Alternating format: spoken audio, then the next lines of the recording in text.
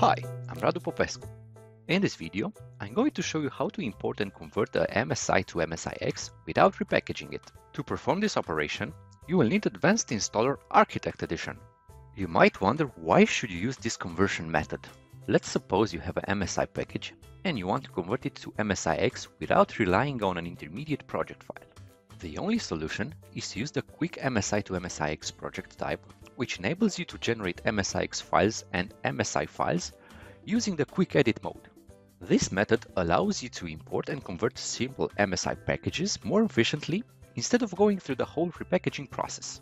For this tutorial, we'll convert 7-zip file manager. Once opened the advanced installer, from IT Pro's Convert tab, choose Quick MSI to MSIX browse to the 7-zip MSI file, open, next, and finish. The conversion begins. Keep in mind that custom actions or custom tables from your MSI will not be included in the MSIX package. Also, the import process may not add all the resources of the original MSI, so after importing, you should inspect the resulted project to make sure that everything is okay.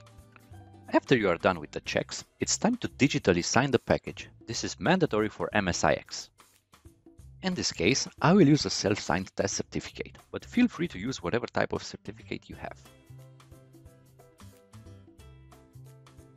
Always synchronize the publisher ID with the certificate.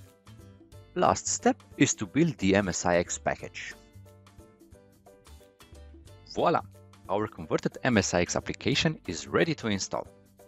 For more guides and tutorials, check out the Advanced Installer YouTube channel and also the Advanced Installer blog.